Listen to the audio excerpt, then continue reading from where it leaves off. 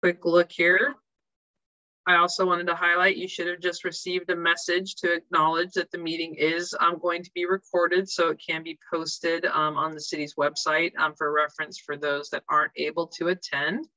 And I'm just gonna go ahead and give it another couple of moments here because I still see um, some folks getting connected.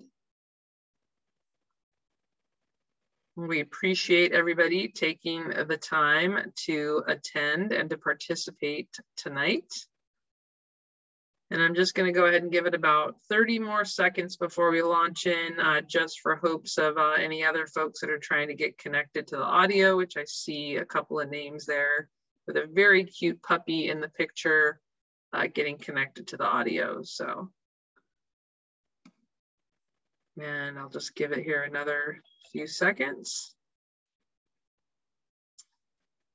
So if everyone will bear with me while we're getting set up here. Um, if you'll notice on the bottom of your Zoom screen, there are a couple of um, options that are on the screen, which should include your opportunity to raise your hand. Uh, there is also a chat option, which you can also post questions to. And we are also going to be taking some poll questions throughout the discussion as well. And then uh, towards the end of the presentation, we're actually going to uh, open up the floor and uh, ask for some feedback um, in following up from our last community meeting. And I do see, it looks like uh, Kiko or Kayoko is still trying to um, get connected on audio. So hopefully that will come through here. Otherwise, um, I think we're probably in a good place to get started. And my colleague, um, Allison, uh, did just post a comment in the chat that says if you need any assistance or have any issues, please don't hesitate to post the note in the chat. I also wanted to acknowledge the fact that we do have a Spanish translator available um, for today's presentation as well or any questions that you may have. So um, please don't hesitate uh, to put that request out. Um, Monica, I see that you are on the chat and I'm just going to go ahead and maybe ask if you wouldn't mind to also announce that that service is available for everybody's benefit. And I'm going to ask if we can unmute Monica. Thank you. Hi, uh, good afternoon, or everyone. My name is Monica Espinosa, and I'll be your bilingual translator this evening. Buenas tardes a todos. Mi nombre es Mónica Espinosa estoy disponible para traducir uh, cualquier preguntas que tengan uh, sobre este taller esta, esta tarde. Uh, Thank you, Monica. I'll ask uh, just the group if, uh, if they could write their message as we have in the last workshop in Spanish. Uh, les pido a todos que si tienen uh, comentario, preguntas o dudas, que los escriben adentro en la charla aquí y este, yo traduciré uh, las preguntas para, para esta tarde. Muchas gracias. Thank you very much. Está bien. Thank you very much, Monica. So, um, hello, everybody. My name is Julie Dixon. I work with Dixon Resources Unlimited. We are the parking consultants that have been retained by the city of Tustin um, to study and evaluate the residential parking program. Uh, before we launch into the tonight's uh, presentation um, and share some information with you, I'd like to hand the floor over um, to um, Chris with the city and allow her to share a little bit about the project and a little bit um, from city staff. Chris?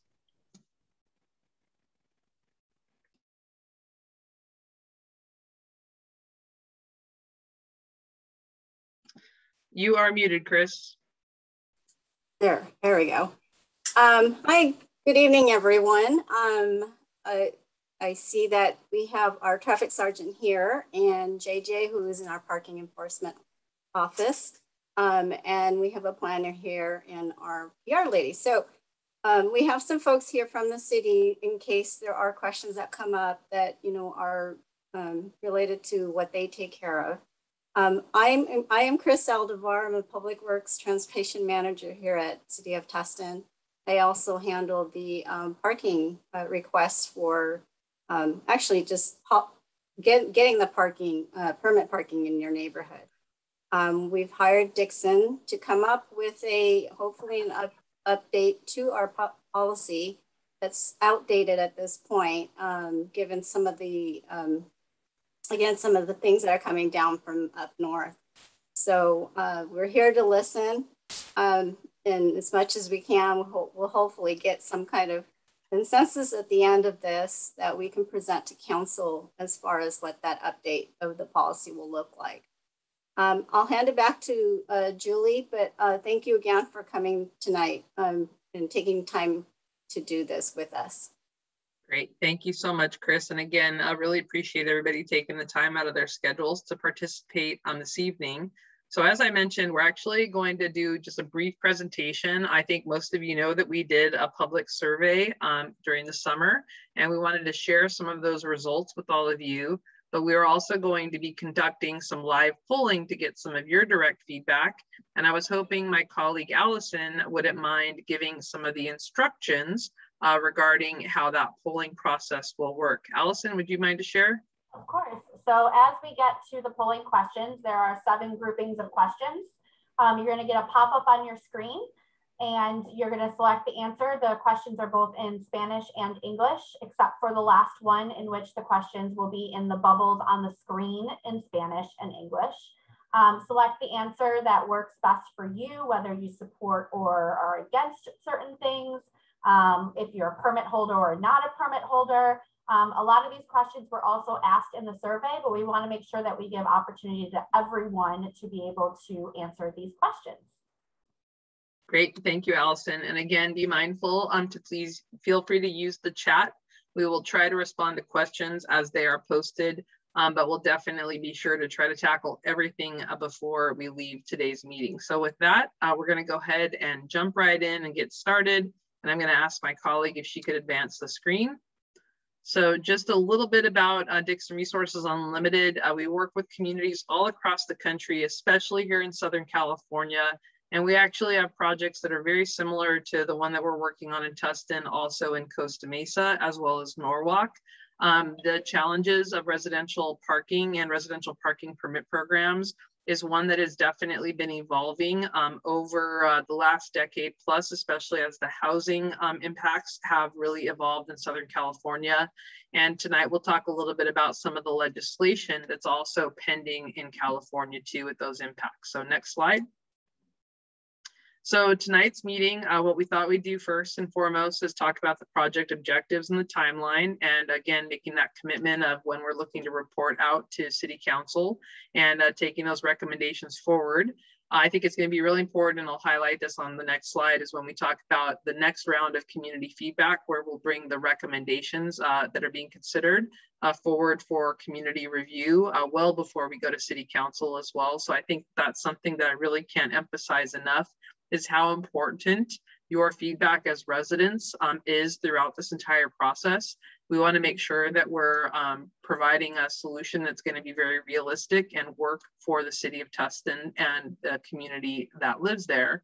And so that also um, incorporates any improvements or changes to the parking permit program, as well as tonight we'll be going through the parking survey highlights and some live polling, as Allison mentioned, and at the very end of tonight's conversation, we'd like to save some time to hear directly from you, where some of you who maybe attended the last meeting might recall that we did the parking magic wand exercise with the intent of hearing from you. If you had a parking magic wand and you could change, fix, or improve anything about parking in Tustin, what would it be? So if you'll give some thought to that, we'll definitely have that conversation uh, towards the end of tonight's discussion. So next slide.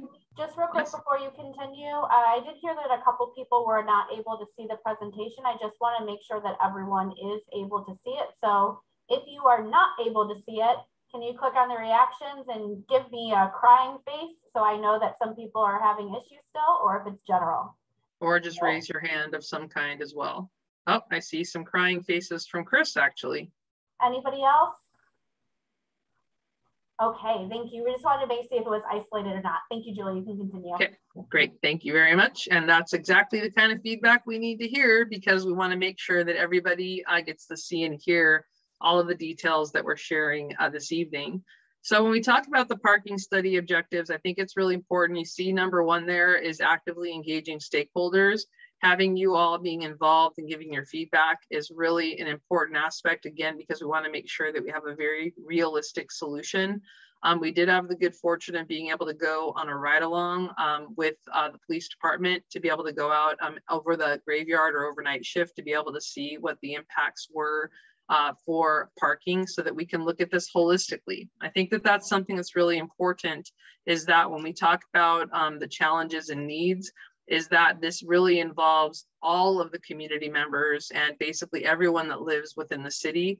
And I think that that's important because, you know, historically programs that are basically built to potentially protect single family resident neighborhoods versus multifamily resident neighborhoods those are the things that have really evolved and changed. And um, there's actually some legal opinions that have basically really led to this discussion today. And I'll share more about that as we go through.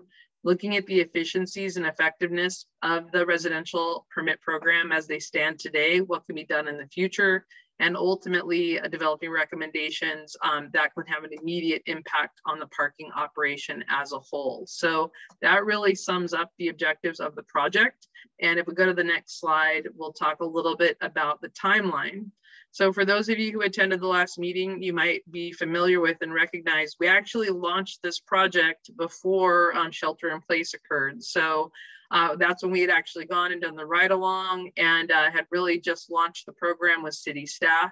And um, as a result of the pandemic, we actually slowed the project, stalled the project, and put a, um, a pin in it for a bit um, because I think all of us can appreciate um, the pandemic shelter in place for how long it was supposed to last versus the reality of what all of our lives are today.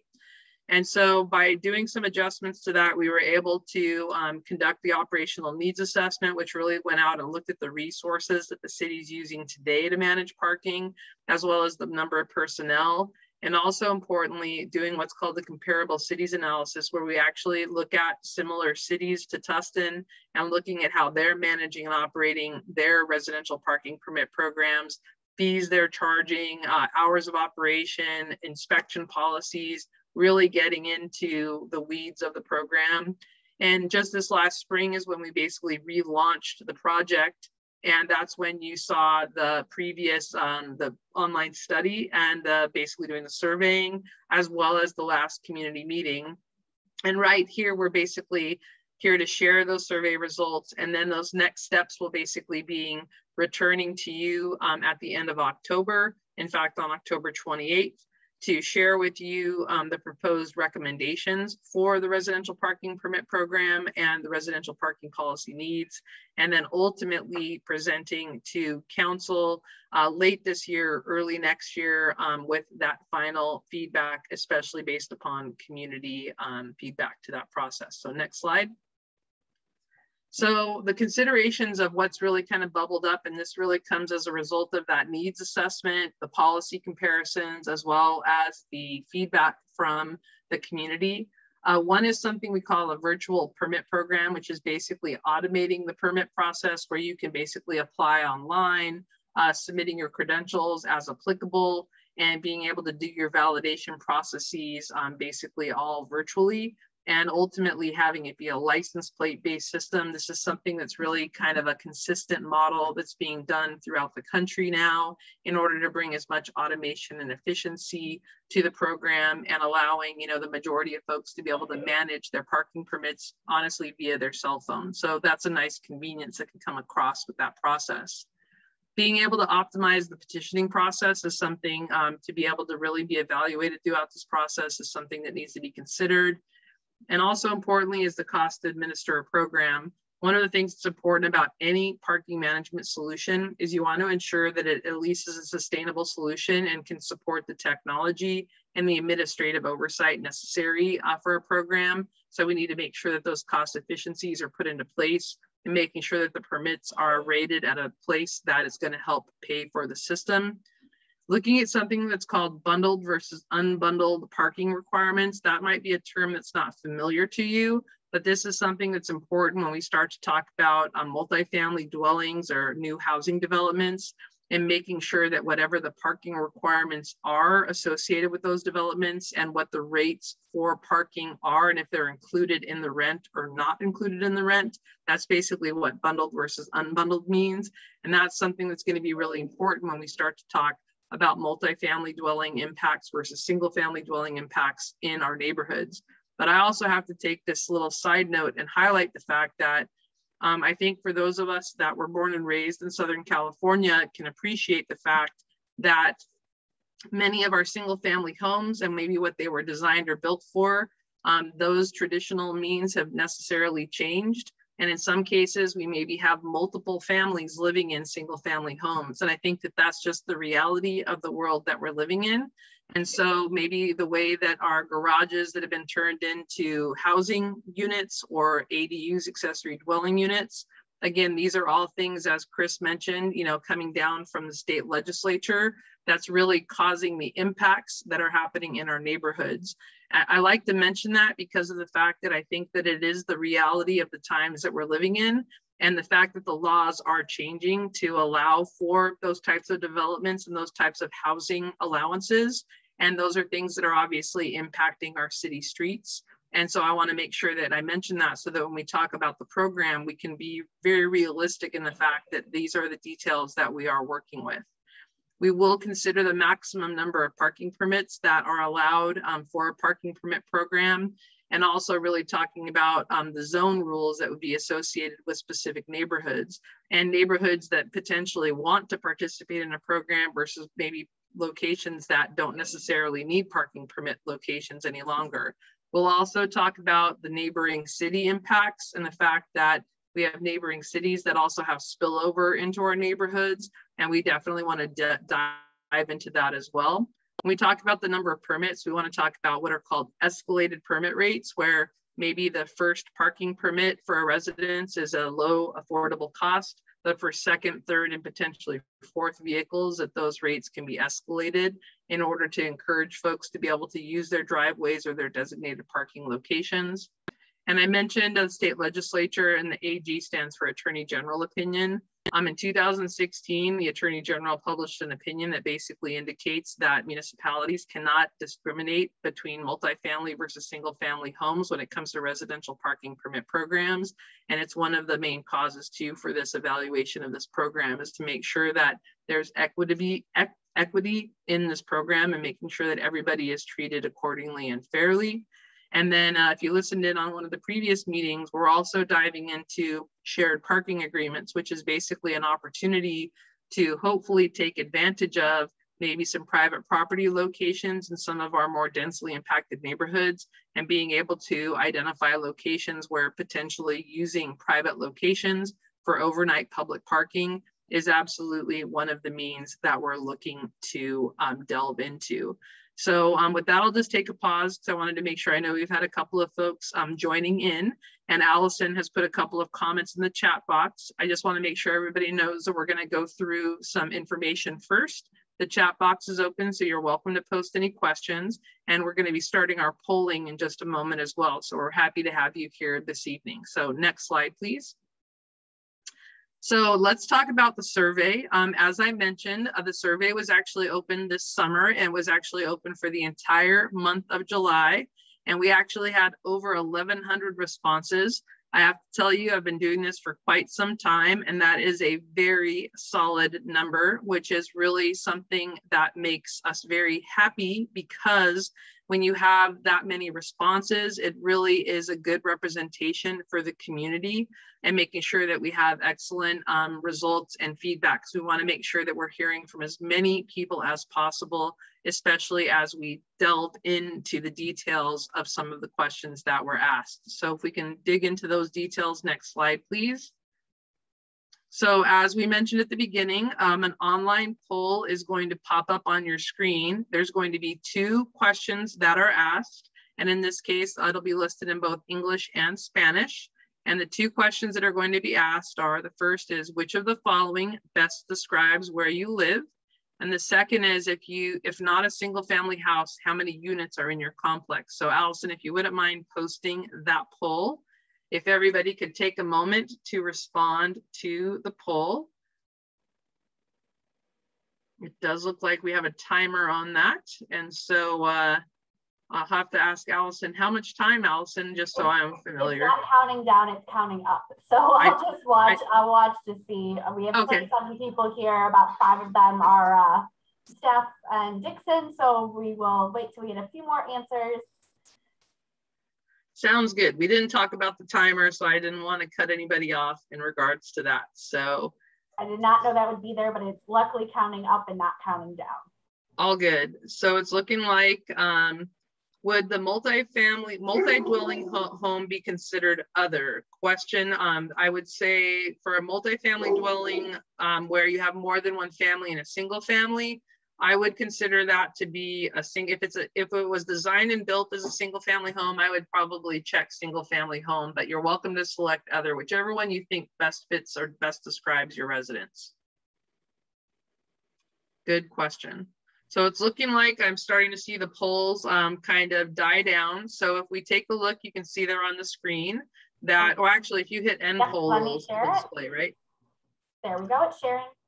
Thank you, Allison. So we can actually see from the participants um, for tonight's meeting, it's actually a pretty um, even count there for 29% uh, for single family, 29% for condominiums, and then we've got 21% for townhomes, 14% for apartments, and 7% for other. And then if not a single family home, how many units are in your complex? And I can see that 43% um, have 51 plus or more. We've got 29% that don't know and 29% uh, that have two to nine. And this is gonna be where the test is gonna be because I know the next slide is gonna tell me um, what kind of representation that we have. So I'm going to, am I hitting stop sharing, Allison, or are you? It should be gone for you now. I hit stop sharing. Okay, great. You have So, yourself. Great. If we can go to the next slide then, please. So these are the actual results from the survey that had over um, 1,100 folks responding. And you can see that 58% uh, of the respondents lived in single family homes. And we had 52% who lived in multifamily homes and complexes uh, with complexes with more than 51 units. So I think that the representation that we have on that second question is pretty equitable to what we had in the survey. And then during the survey, it seemed that we had a good majority of folks that lived in single family homes that did respond. We can go to the next slide, please. It'll be our next survey question, which says, do you live on a street with a preferential permit parking requirement? If we could post that poll. And if you could all take the um, poll, please. Or the survey.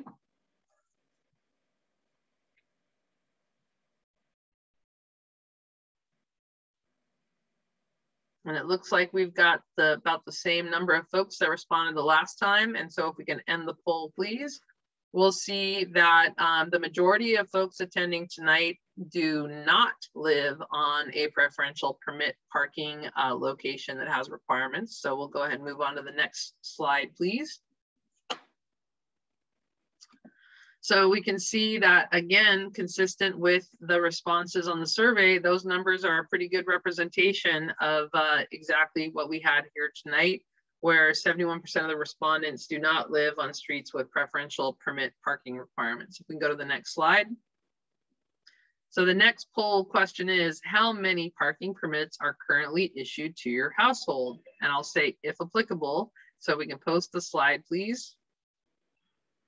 And so for those of you that don't have it, you would fill out NA for not applicable. If you can go ahead and respond.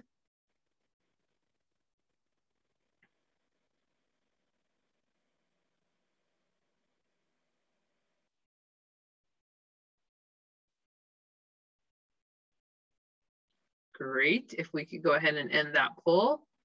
We can see that with the numbers, again, the majority being not applicable, and it looks like two um, has the majority there on the 15%. So if we could go ahead and go to the next slide, see the results from the actual survey.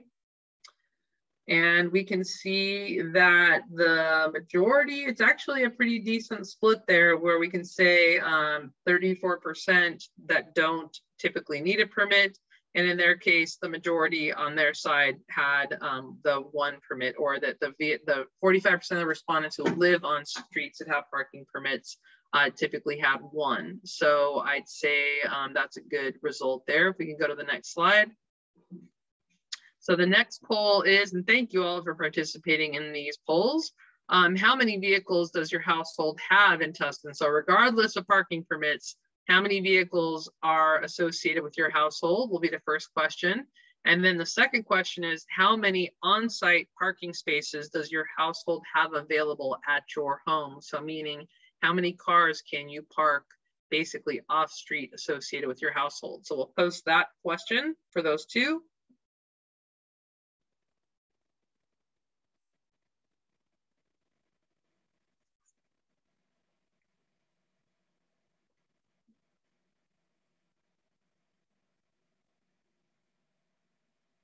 See about five more people to respond. Nope, three more. It's climbing. Just give it another moment here. Okay, why don't we go ahead and end that poll?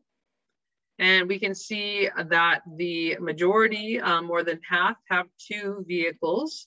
And the second question was how many on-site parking spaces?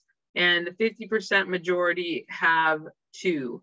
So that's actually a good match because uh, that shows that we're pretty close on the number of spaces available versus the number of cars that you have. We can go to the next slide. And so that we can look at, again, our numbers look like they're fairly consistent with what the poll results were and that we can see that the majority definitely has uh, two vehicles and there on the right side, it does look like we've got a good number that have four uh, on-site parking spaces eligible as well. So that we can see that the highlight is 95% of the permit eligible households and 88% of the non-eligible permit households have two or more vehicles and that 94% of permit eligible households and 83% of non-permit eligible households have two or more on-site parking spaces. So those numbers look like they're a pretty close match um, to hopefully be able to offset the impacts on street. Next slide. So the next question is, when do you typically find it difficult to find parking on your block either side of the street and select all boxes that apply. So Allison, if you could um, post that poll.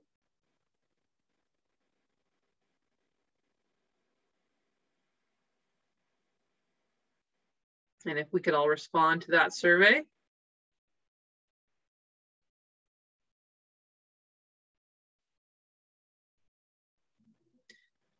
A couple more to respond. And Dixie, I do see your comment. We will come back to that here after we respond uh, to this poll. And it looks like we've got a good response, so we can end that poll, please. So we're seeing here, it's looking like evening followed by overnight um, being the most impactful in terms of uh, difficulty to find parking, followed by the afternoon.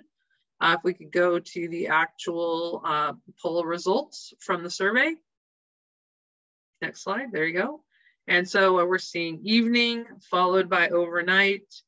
And let's see, the next one looks like afternoon and overnight um, being the most consistent, again, uh, depending on permit versus non-permit locations the non-permit locations, obviously the evening and overnight being the most impactful.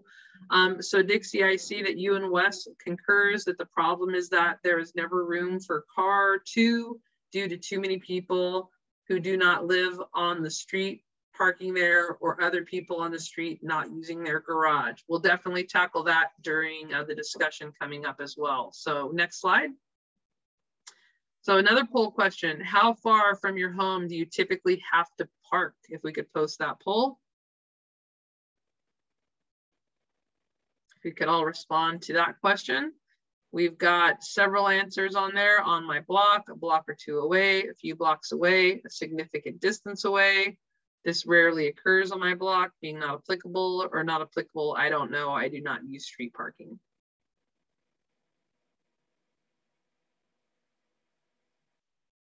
Just a couple more to respond.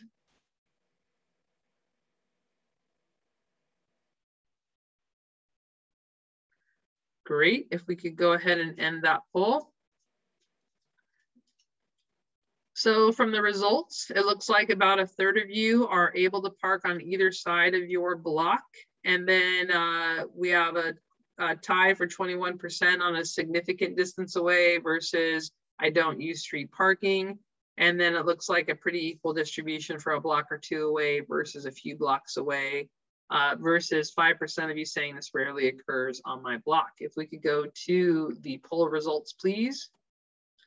And if we can see on my block, we can see from the darker blue being the permit holders um, are able to park on their block by about 42, 43%. And then um, we can see for the non-permit holders that that is just over um, right at about 27%. And then we've got a pretty good chunk of folks just over 25 that do not use street parking. Um, so I think that I'm just comparing the two. Um, it looks like our numbers are fairly consistent um, in terms of the representation of what we had there. I think we've got a little bit higher on the significant distance um, compared to what we have here tonight as well. So if we can go to the next slide. And then if we, this is the one where Allison mentioned that uh, from the Spanish translation will not be on the full question. Um, and the, the preface of this one is to balance the needs of all residents, the city may consider adjustments to the city's existing preferential permit parking program. Please help the city understand your residential parking priorities by rating your support for the following options. And I'll go ahead and read these questions as the poll is posted. We have expand the preferential permit program to include additional public residential streets where permit holders can park. Expand the preferential permit program citywide to include all blocks with house, housing fronting public streets. Adjust eligibility requirements to allow all Tustin residents within a specific zone to participate in the preferential parking permit program and eliminate the preferential permit program altogether. So Allison, if you could post that poll. We'll go ahead and give everybody a moment.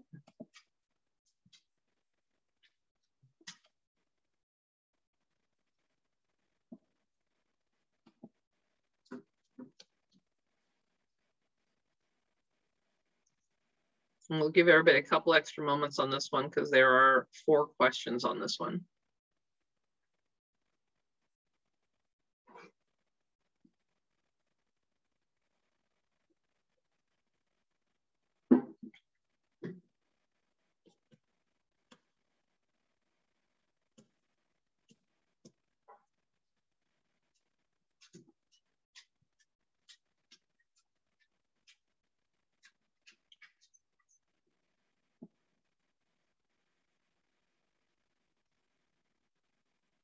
We'll just give everybody another moment or two here. It's looking like we're still seeing the polling fill up.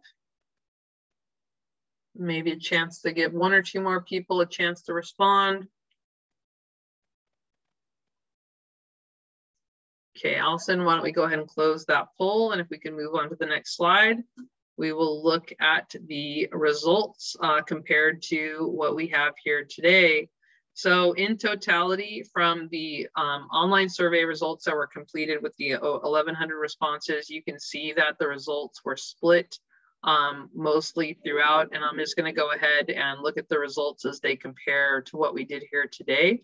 Um, so to expand the preferential permit program to include additional public residential streets where permit holders can park, uh, we do have 53% that said they support it. And then we have an even split of being neutral and do not support that as well. And then moving down into expand the preferential permit program citywide to include all blocks with it with housing fronting public streets. And in this particular case, we did have 65% support, 29% do not support, and 6% that were not sure. Moving into the next question, um, adjust eligibility requirements to allow all Tustin residents within a specific zone to participate in the preferential parking permit program. And this one we had 65% support, 18% do not support, 6% being neutral, and 12% being not sure.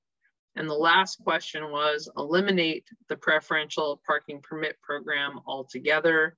And our poll here during the meeting was 76% said do not support and 12% evenly said that they were neutral or support that initiative as well.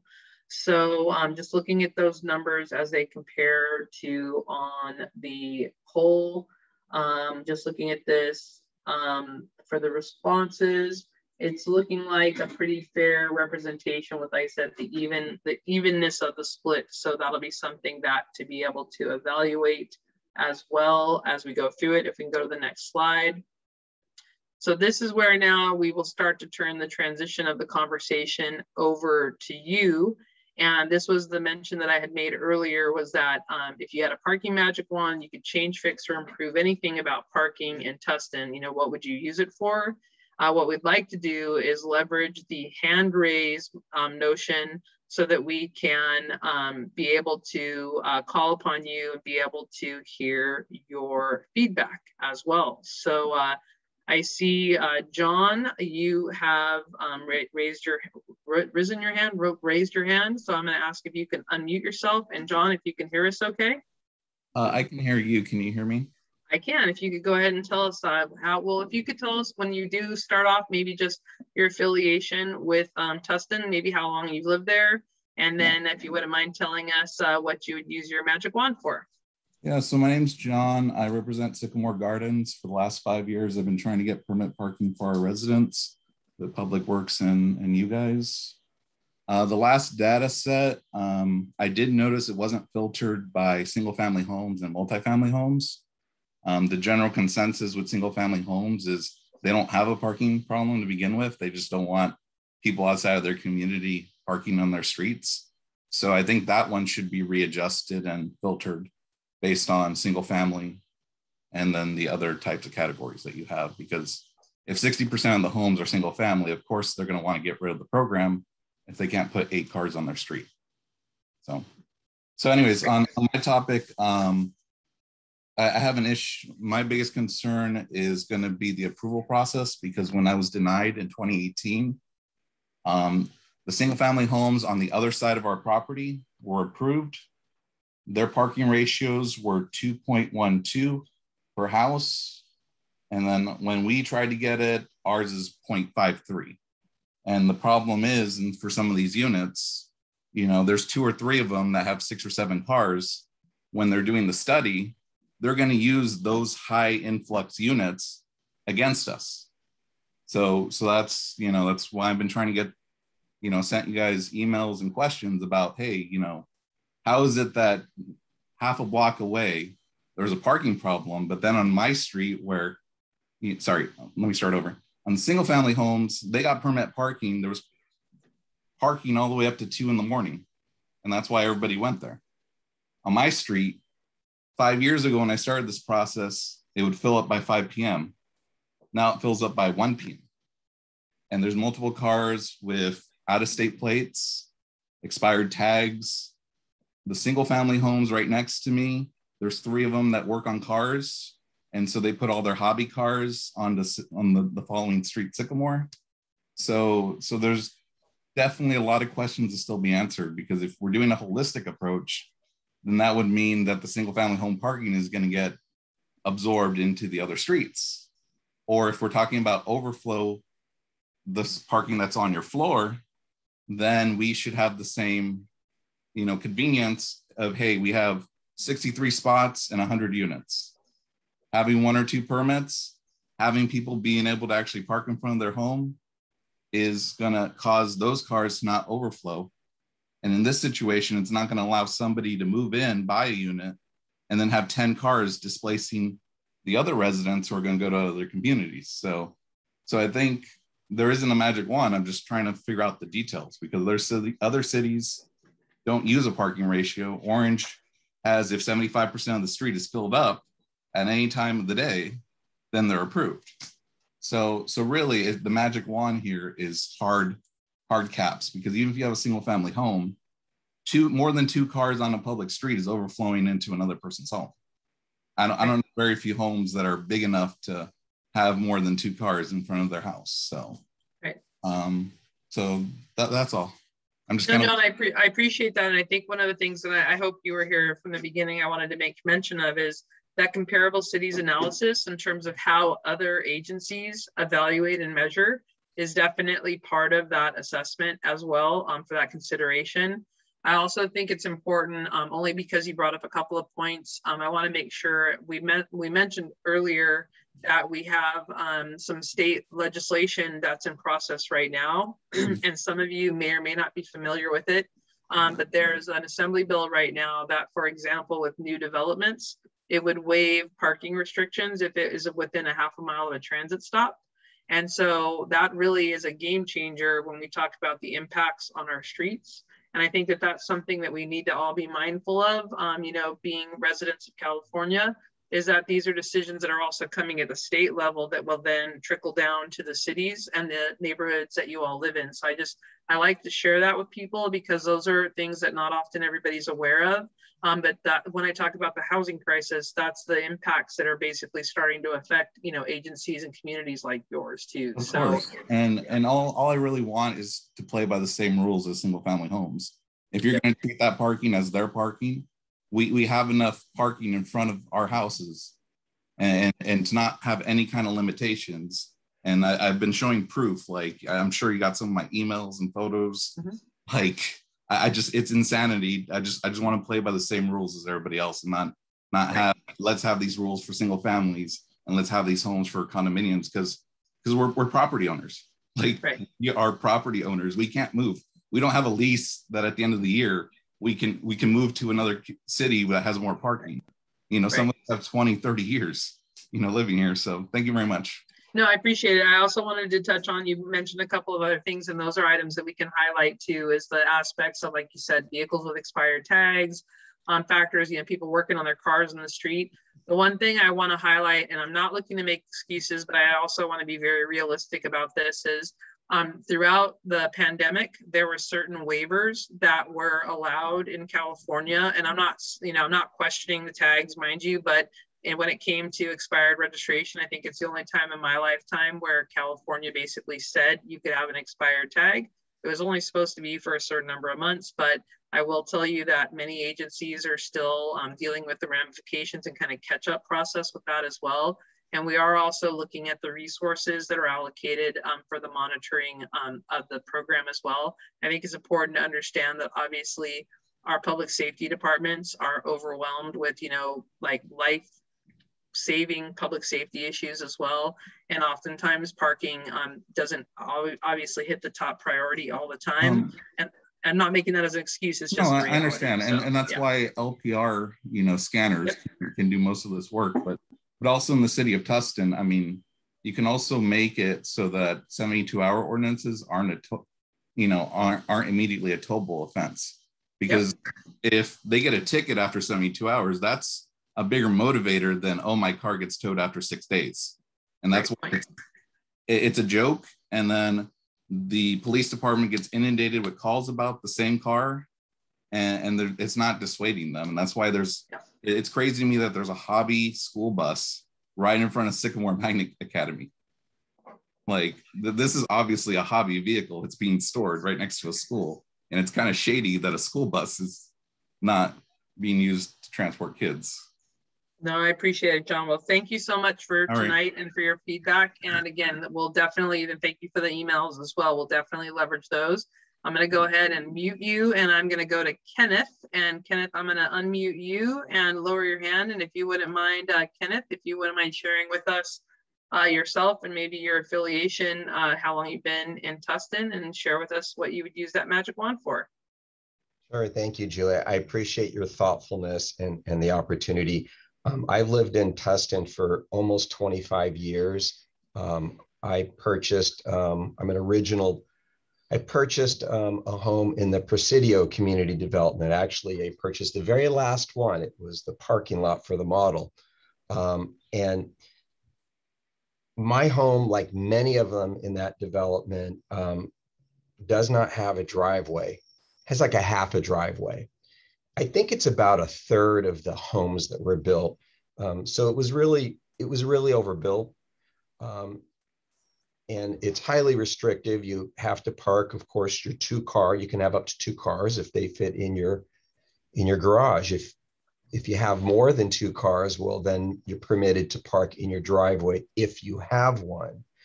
Residents are not permitted to park on any of the streets in the community. Even outside of the area, um, like uh, up and down Pioneer Road, anywhere from Jamboree all the way down to Tustin Ranch, you know, past um, Pioneer Elementary, uh, um, not Pioneer, um, uh, the elementary school there, um, Peters Canyon Elementary School. You're not permitted to park on either side of that street. So we don't have any city permit program at all. This is a problem because when people move in, like we did 25 years ago, uh, we had one child who was one, uh, and then we had another child. Um, um, one went to college, law school. She lives out of town now. The other one is in college and was going to Irvine Valley College. What do you do with their cars? Even when they come back to visit, it's it's a real problem, and it's really forced a number of families to actually they're actually forced to consider selling their homes and moving. Um, one thing that's really interesting to me, though, is when when it's not just the Presidio, but all of the adjacent communities there. Whenever uh, our streets are being repaved or resurfaced, everybody is allowed to park on Pioneer Road, up and down on both sides. There's not a problem when people park there. I mean, perhaps you know the corners should be painted red so no one parks near near the end. But this is a huge problem. Forget about guests coming over and you contact the homeowners association. We have somebody who's going to come over and you know and, and you, you get a, a permit for you know two nights or three nights. Um, but it's just really impacted. Um, i don't see why there cannot be uh, a permit that why there cannot be permit program consideration for all of those communities there, even if it's just to allow parking on one side of Pioneer Road, although I don't see any problem with parking both sides. And we're talking about preferential parking or maybe exclusively for residents, uh, perhaps even limited it to um, two cars if you don't have a driveway. I mean, anything that's reasonable. Um, it's a huge problem. Um, and it's I don't know why this part of the community is not even considered for any sort of permit program. No, I appreciate that. I was also going to ask and forgive my unfamiliar my unfamiliarity. There's a park there, uh, correct? And I'm just wondering, do you also have any spillover effects um, for folks maybe going hiking or using the trails at all? Well, there there there is no overnight parking permitted anywhere on Pioneer Road. Um, there's no overnight parking permit on any of the streets where our communities are. Um, um, there's, you know, people can park near the um, Peters Canyon Elementary School if they're going to go walk and hike, you know, up, you know, Peters Canyon, um, the little wilderness area there. Um, but I, you know, and I, I know that there are bike lanes on both sides of a Pioneer Road, um, but I, it, I, I cannot see why at least one side of that street cannot be um, considered for a permit parking program for residents. Uh, it's just not reasonable for homes that have three, four, and five bedrooms that you can only have two cars. There's nowhere you'd have you'd have to you'd have to drive miles to find a place to park a car overnight. Great. Okay, no, this is, thank you for that. We'll definitely take note of that. And I'm also, I'm gonna make sure to, um, I'm trying to figure out, Allison, the one thing is to be able to get everybody's email address too, to be able to um, I'm trying to, uh, I'm going to come back to you also on that so that, that way we can also follow up as needed um, with folks. So I know that we've created a user list, I believe that we've referenced from the previous community meeting. So I'm going to come back to you on that one, Allison. So um, Kenneth will definitely look to follow up with you as well, but uh, well, thank you for sharing your feedback tonight, okay? Thank you very much. I appreciate thank it. You. I'll send my email address to you as well. That'd be great. Thank you so much. Appreciate it. So I know Chester, you were next, um, and I know I see other hands. So I'm going to ask Chester if you could un unmute yourself. I are you able to? There we go. go me? ahead, Chester. Yes. Uh, uh, Lynn and I have been living in this house for 37 years. We moved in here. We live in a in uh, Cola in California. I mean Cola and California Street, which is just off McFadden. Uh, this is a community of 87 houses. And somehow the other, we got restricted parking. What for? I don't know, to start off with. None of us had any say in this, but our streets are restricted. I don't know why. We don't have a problem with parking. We just have two cars, my on wife and I. But on weekends, we have, you know, visitors coming, that kind of stuff. And, and, no and there's no parking. That's one of the problems. And uh, what has changed? I don't know. What is the city doing? I don't know.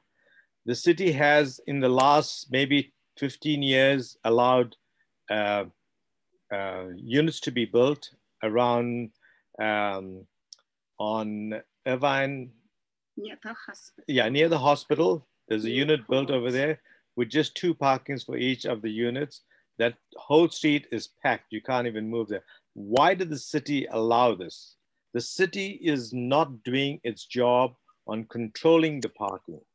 We, next to our house, along on the other side of the street, there are resident, um, um, they are uh, renters. There's lots of rental units and there's hundreds of them around that area. And there's no, there's no regulation as far as street parking and it's an absolute mess. We need to try and see to it that we don't allow these buildings to go up, number one. Number two, someone has to do something about it. I, I once, uh, I took some students to JPL and it was a rental unit that I had. I put my sticker on the car. It was like 10 at night I came in. I put the sticker on the car. It dropped like an inch lower and I got a ticket and they refused to change it. So, you know, this, the, the, the, this, this whole thing about uh, certain streets were just chosen to have restricted parking has to be re-evaluated. Uh, evaluated. And I, I want to assure you, Chester, that's actually part of this process is really kind of the overhaul of the program. Um, and that's really the core intent of it. And I do want to just on your first comment there, um, on kind of your summation, I do want to reemphasize that the at the state legislature level, um, there is an assembly bill currently pending right now. It's Assembly Bill 1401. And if it is passed in its current state, it basically will eliminate any parking minimums for new developments within a half mile of transit district or a transit stop.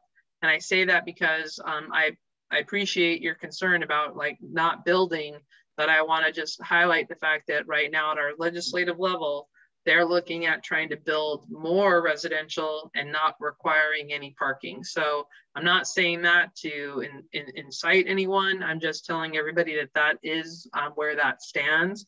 And so to be able to speak to your representatives about that as well is something I would encourage you all to be sure to be aware of that too. So um, we'll take note of the location. Thanks for sharing the street names and we'll definitely follow up. And I wanted to highlight in the chat. Um, you can send your email address to Allison. Uh, her name is in there as one of the hosts.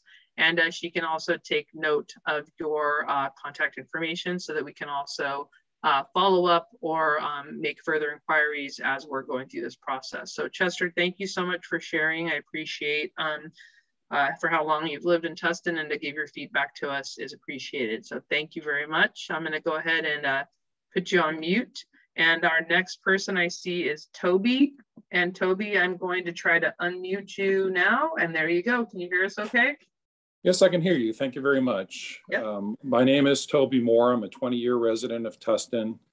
I live um, across from Nelson School in a small cul-de-sac. Um, so the street I'm on, single family home, is near a considerable amount of multifamily homes as well as, as overflow from the school during the day.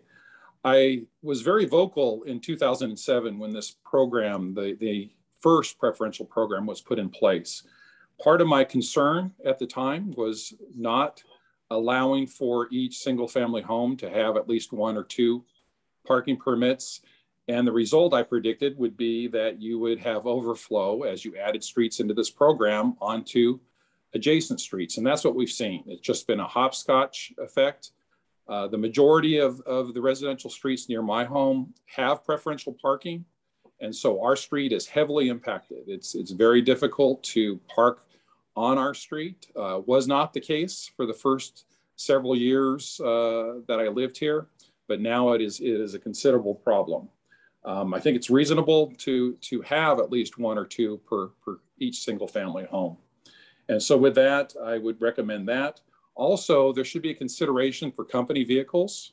Um, uh, I have a company vehicle, it's registered to my company.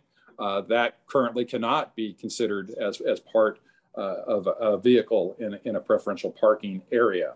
And I'm a, an emergency responder. So I need that vehicle to, to be available. Then, in one point I, I want to point out at the same time in 2007, when the preferential parking permit came in, several ordinances were updated. One was re related to uh, garages within single family homes, largely because it was in, in connection with uh, ensuring that folks were using their garages for uh, parking. But at the same time, it, it didn't acknowledge that um, you need to have ingress and regress to that garage. And so this preferential permit system required you to maximize your parking, which meant that if you had two cars in your garage, you also had to fill in your, your driveway before you get a permit, um, which actually uh, um, is against the need of having that ingress and regress to, to get a vehicle out uh, and, and, into your garage. So I would change that uh, if I had a magic wand. And with that, uh, those are my comments. Thank you. And Toby, if I could just ask you a couple of questions, especially relating to the company vehicles. Um, the uh, so when you say a company vehicle, this could just be a sedan, but it's registered to you know, Acme Company versus like the plumbing truck that's registered to Joe's Plumbing. I just wanted to make sure to differentiate. Yeah, absolutely. That's what I'm yeah. considering. You know, for for my instance, it's a sedan, so I can respond. Yep. Um, yep. Uh, I work for a water company, and I need to respond. Um, but I do that. That does bring up a good point. We do have a number of commercial vehicles that are parked on the streets, um, and so I think there does need to be some kind of uh, you know, regulation related to that. We, we see considerable amounts of, of, you know, commercial vehicles on the street in the evening throughout the city of Tustin. Yep. No, I'm very grateful for you to bring that up because it is something the the struggle on the the commercial vehicles, and I appreciate the fact that not every car is registered to the address of residence. Um, a good example too is a college student that might be renting a place potentially. I mean, those types of things that, you know, that the car could be registered to their home address as well. So, um, right. Okay, that's great. Well, Toby, thank you so much for sharing. We do appreciate it. I'm going to go ahead and mute you for right now, and uh, we'll move on to the next hand.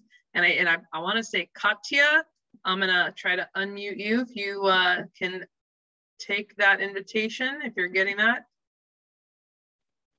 Let's see, Kat, there we okay, go. Katya, uh, can you hear us? Yeah, thank you. Um, only was supporting the the first gentleman who spoke about the um, uh, Sycamore Street. Uh, I live in here during 11 years, but I see one problem and is well, for example, me, I never have visited because it's a problem to find uh, car spot outside. And many people has three, four cars during the, I don't know how they use the street, but they are uh, keeping that space for their cars all day and because someone is at home every day. And all all the garages are really full of mess. People living in the, in the, uh, the garage. And i think why anybody's doing nothing. I reported all this with management uh, but you know they do not do not have uh, any action. And and i think is is uh, I hope the city can be doing something uh, to speak uh, and can speak with the with the owner's property. They can do something about the situation too, And also many people is renting their units to other people and they bring more cars. I have only two cars, but it's a problem all the time with the cars outside. And, and I think that that, oh, thank you, Katya. I think that goes back to one of the points I was trying to make at the beginning too is, you know, apartment buildings aside, our single family homes are now, you know, being resided in by multiple dwellers in a lot of cases. And I think that that's one of the inherent challenges that we have.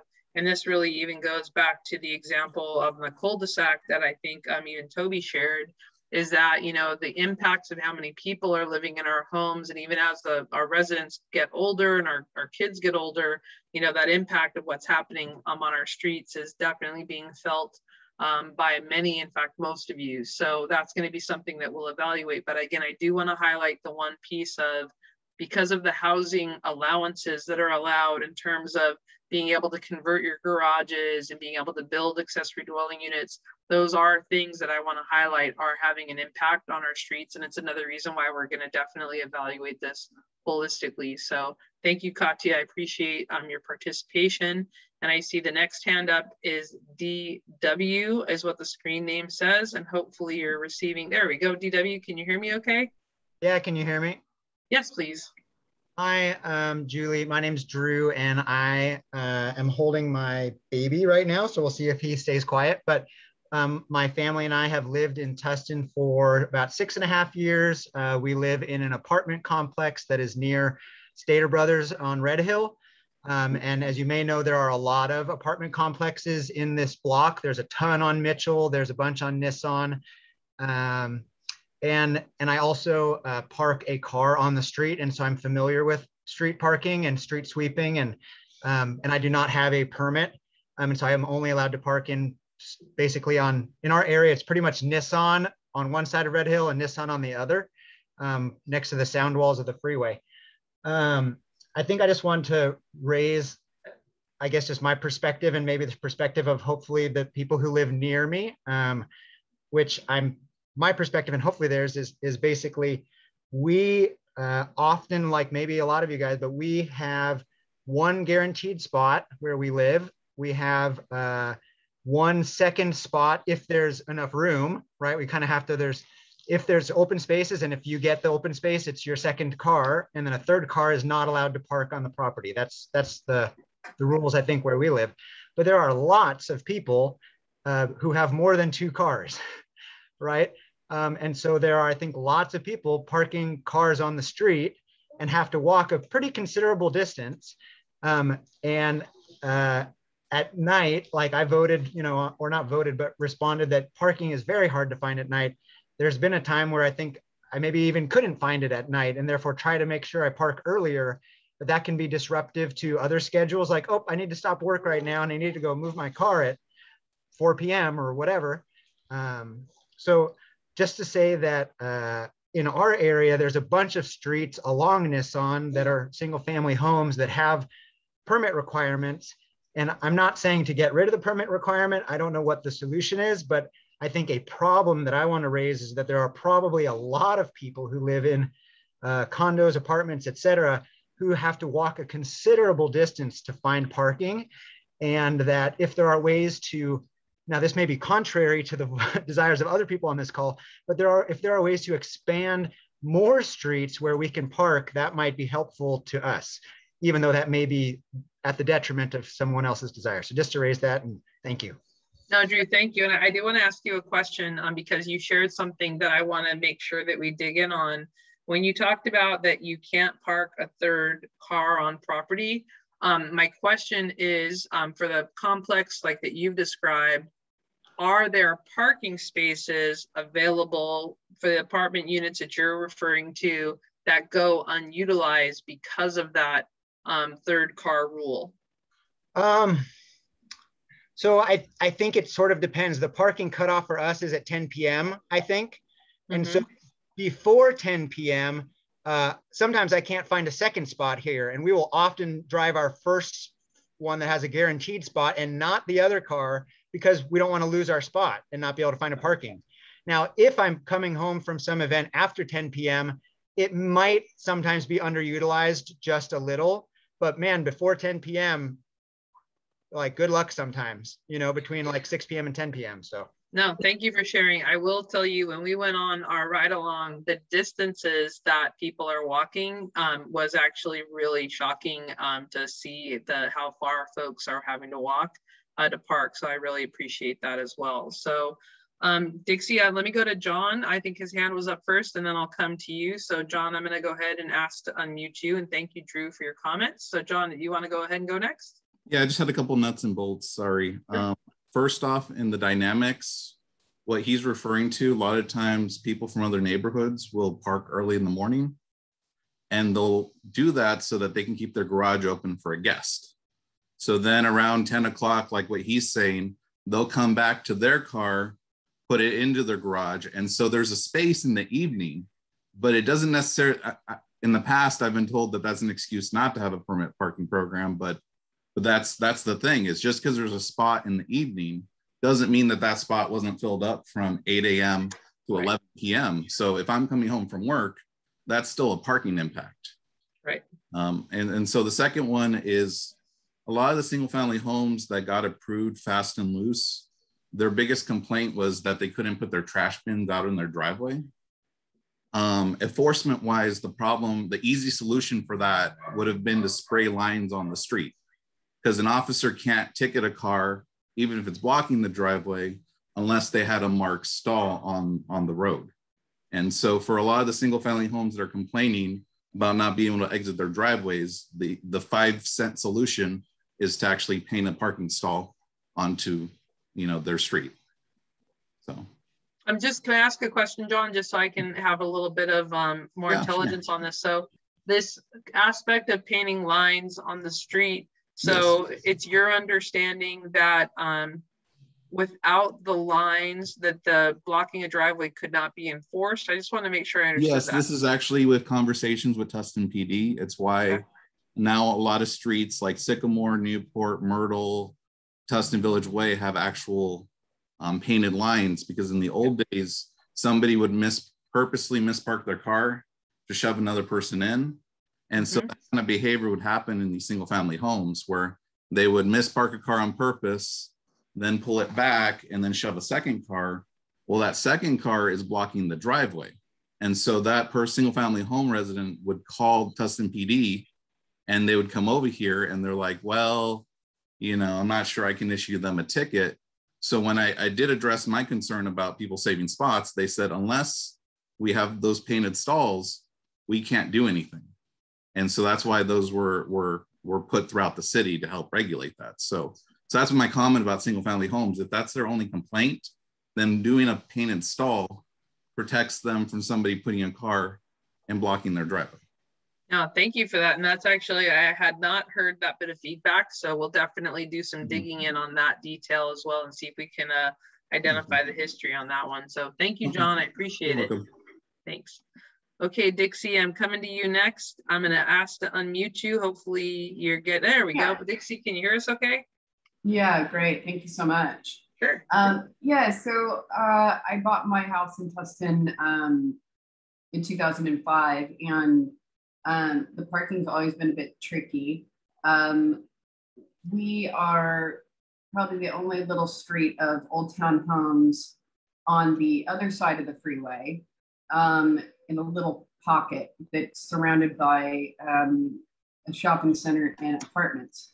And um, it's a really tricky, tiny little street where most people have, because we're not under the Heritage Act and all of that, have transformed their garages and put, uh, you know, second little, probably illegal dwellings so there's usually more than um, one person who lived in my house It was just me for for years. So the parking on this little street has just been always super awful. Um, and I was excited to see that they're hopefully coming to some solutions because it's just been going on for way too long. Um, people have used cones um, to block off their parking spot in front of their house um, garages. I've seen neighbors get into fights over it. I mean, it's been really actually a really source of just turning the community almost against each other in some ways.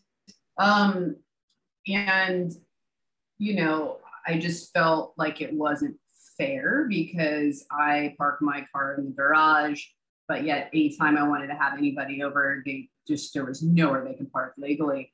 Um, so it's just kind of a pain. Uh, I think it makes sense to me, especially because there's so many different needs that I've heard tonight in so many different neighborhoods that have different problems um, that the solution probably isn't the same for each um, neighborhood, right. unfortunately. No, you're um, absolutely our right. street in particular, it's very different um, than a lot of the problems I've heard tonight. So um, yeah, I, I would appreciate the fact that I think that um, just also a safety issue. I don't live in the safest part of Tustin, like that it would be nice to have a guaranteed spot um, on the street and maybe a permit, two permits issued to each um, house um, on the street just kind of makes logical sense. Um, I'm not sure if that's the right solution, but I do appreciate you guys looking into this and, um, you know, doing something about it because um, it's just, honestly, California and our cars, we're just kind of uh, have more cars than the average bear. So um, yeah, it's it's a shame, but we we do need um, probably some more regulation. Um, so I appreciate you putting this together and and looking at some solutions. Uh, we're definitely here because of city staff, so we appreciate the opportunity. But one thing, Dixie, that you said that I said really resonated with me the one thing people get really passionate about is parking and their cars. There's no doubt. So the whole the cones and the trash cans and the fisticuffs in the street, I have to say, unfortunately, been there, done that, and I can absolutely appreciate that too. So um, and it, and I will say that you highlighted something that I'd love to touch on as we um, go to the next person is there is no one size fits all solution. And I think that that's something that I appreciate that everybody recognizes is that we all have different needs, different priorities. Our communities, our neighborhoods all have variances, um, unique factors. So when we try to come up with a comprehensive solution that's really adaptable to Tustin, I think that that's going to be something that's important. We haven't really heard anybody bring up yet our border cities, but that's something that I know that I'm um, in the case of up against, you know, um, some of our border cities, the spillover impacts for those neighborhoods are also things that we know we have to deal with as well. So um, yeah, this is not one of those easy puzzles to be able to uh, to put together by any means. So we really appreciate your feedback because this is how we're going to be able to come up with a solution. So thank you so much, Dixie. I'm going to go ahead and uh, head back to Drew. And Drew, I'm going to go ahead and unmute you. And let's see, there you go. Drew, can you hear us okay? Yep, can you hear me, Julie?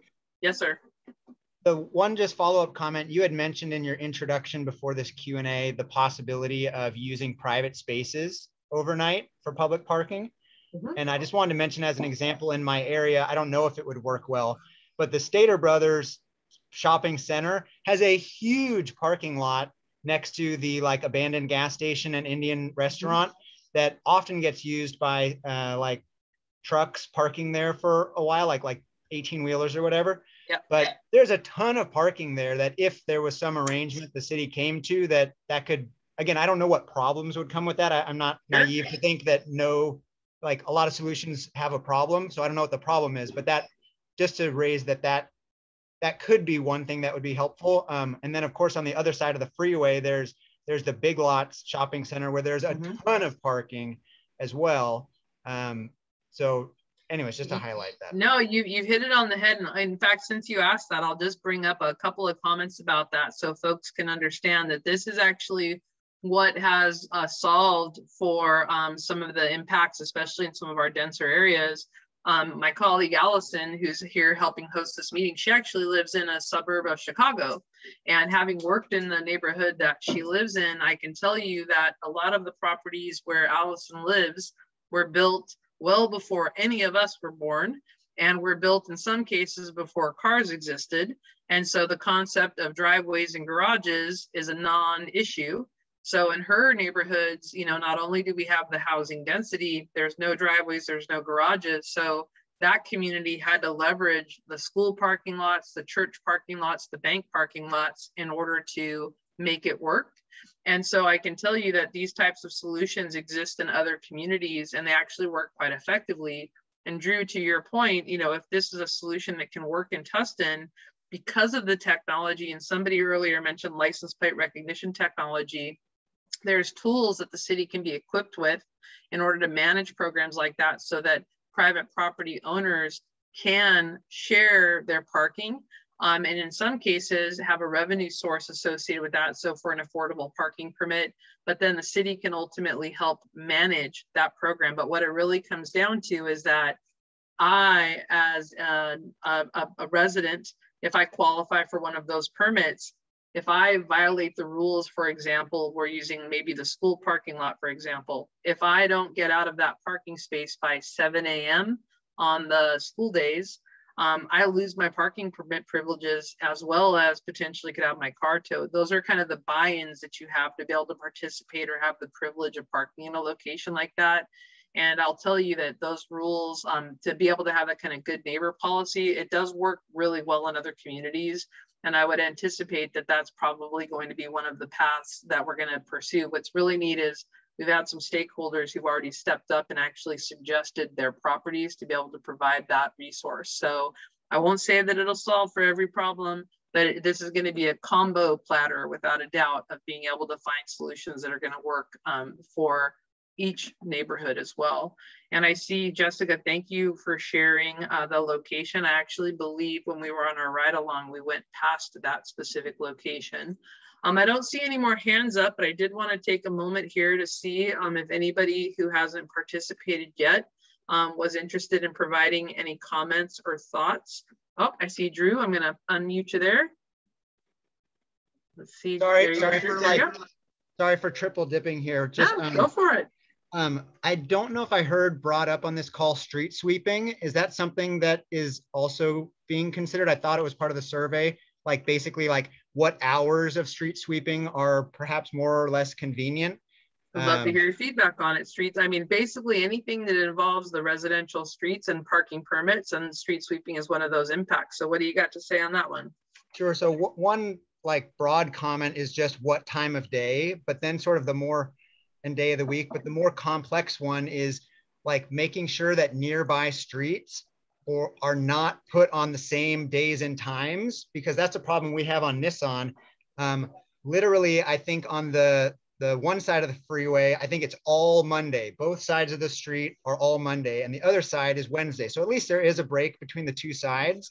But on that one day, like that whole side of the freeway is is gone and so that makes a major impact i think on the other side so maybe there could be and, and other people may have a similar situation but just mm-hmm. basically reevaluating based on numbers of cars being parked now versus whenever the rules were made prior of like hey maybe we switch to some different days or modify some of the days to uh, alleviate some local impact where it's like oh man there's nothing nearby here there's right. way enough cars. So that's all. No, great feedback. Thank you for that. I appreciate it. Okay, John, I see your hand up. And hopefully that mute, unmute Well, there you go. John, can okay. you hear us? I can hear you. Can you hear me? Yes, sir. Okay, I just want to, since you did touch up on the whole uh, um, companies being able to use the, their parking spaces. Um, one, there's two areas. There's the church, but what I want, the St. Cecilia's Church, and then what I wanted to focus a little bit on is Sycamore Magnet Academy, um, because right now the entire school it's got parking on all four sides, or sorry, three sides. Um, it's kind of used for a lot of a dumping ground for cars. So it's it's kind of like that weird thing of like, okay, this is this is a public asset. Um, so I don't know if if they they should get money out of it for charging. Um, but but definitely as as things start to normalize the impacts that are going to happen are on the pony baseball and sports teams that play there um, also the pickleball players that like to go there all the time. So so that area also separately needs to be worked up because right now that's where some of the vehicles that are being left for weeks on end tend to reside because there's no residents there's no apartments. It's easy for someone to dump cars there for a long period of time Got it. I see exactly where you're talking about. And the one thing when we talk about um, like revenue generated, in some cases, it's just strictly to pay for the program or like the assets associated with like the LPR, things like that too. So thank you for that comment. And Chester, I see your note in the uh, comment section and hopefully that will allow you to unmute yourself if you're getting an invitation. There you go. Oh, thank you. Uh, just wanted to know, I know everything is going to eventually get done by the beginning of next year. But at, at present time, do we all get one parking permit, at least, at least one parking permit per household? Well, so the permit rules vary by the neighborhood in which you live in. And so what I would suggest we can do, Chester, and I believe I saw you put your comments in the um, in the chat box. Uh, we'll coordinate with city staff to be able to follow up with you so that we can make sure that you're well informed about what the permit regulations are for where you live, if that's okay. Thank you so much. No problem. Thank you so much for participating. Uh, just while we're taking a moment to see if anybody has any other uh, questions or comments, I'm going to ask my colleague Christy to share the screen because I wanted to be sure that everybody who's here tonight has this information for reference. Um, so as we, and Dixie, I'll come back to you as, oh, may I please have that too? So Dixie, we'll make sure, I think you put your um, contact information. If not, if you'll make sure Allison has that, uh, we can coordinate that follow up. And also um, on the screen now, everybody should see, um, we actually have contact information for not only Chris, uh, who is our host tonight from uh, Public Works, so from city staff, but we also have our contact email address as well, um, so that if you have any follow-up or anything in terms of action following tonight's meeting, please don't hesitate to utilize that information. And we actually already have the Zoom link set aside for the next meeting um, on October 28th. We'll be sure that this information is also posted uh, via the city, as well as we'll leverage any of your email addresses to be able to send out um, information. I promise you we won't spam you, but we wanna make sure that we can keep you all engaged in the communications and processes as we're moving forward. And at the next meeting, we'll be culling all of the details associated with the surveys, the feedback you've given us tonight, any follow-up actions that we have, and that's where we'll actually have the preliminary recommendations um, and really talking through some of those details. Um, please don't hesitate. If you know of a location that you think would be ideal for a shared parking location, don't hesitate to drop us a note and tell us where that location is. And if you know the property owner or anything like that, we're always happy to uh, reach out and have those conversations. Um, like I mentioned, we're trying to be as real as possible um, in terms of being able to put together a holistic plan and approach. Um, I do appreciate everybody's candor tonight, and I really truly appreciate the fact that everybody appreciates that. You know, we all have our priorities, we all have our needs, and you know, our neighborhoods are different. And so, you know, just I really do. People are passionate about parking, and I just really want to acknowledge how respectful you've all been um, on our different needs. I'm going to go ahead and uh, ask for one last call. Anybody have any other comments, any other hands to raise, um, any other feedback. Um, I want to be mindful and respectful of everybody taking time out of their evening for us. And I thank you as well, Dixie. I would just again want to tell everybody, I uh, really do thank you all um, for your time this evening and again, your feedback. Um, even when critical, um, this is the only way we can uh, make a difference. You know, we like to rip the band-aids off and get to the root cause in order to have these conversations. And uh, we'll definitely do what we can uh, so that we meet next time on August 28th, that will have hopefully some really promising recommendations so that we can work with staff on bringing that to council. There was one thing I think Chester mentioned too that I really want to be realistic is if we go to council by end of the year, beginning of next year, um, in terms of implementation and deployment and rollout, you know, the magic wand is not real. So uh, things don't happen overnight. Um, but I just ask that everybody recognize that we are trying to, you know, move the needle, um, move things forward. And so that collaboration with everybody is going to be so key and so critical. So I haven't seen any other hands raised. Uh, we do have all the contact information out of the chat box. And on behalf of the city staff, on behalf of Dixon, I just really want to thank all of you for taking the time to participate tonight. And again, uh, take note of those email addresses and we'll look forward to hopefully seeing and hearing from all of you on October 28th. So with that, I'll bid you adieu and have a very good night. And uh, thank you very much all for participating. Everybody, thank you so much. Bye-bye.